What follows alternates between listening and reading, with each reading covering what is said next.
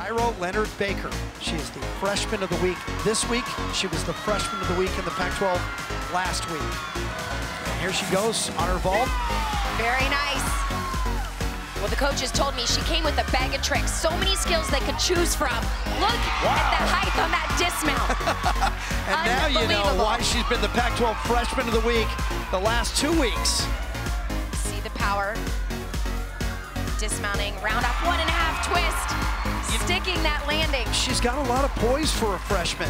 Leonard Baker's got 9-9 twice on the floor at West Virginia and last week at Stanford. So you might want to watch. Big height there. Solid combination. Finishing double pike.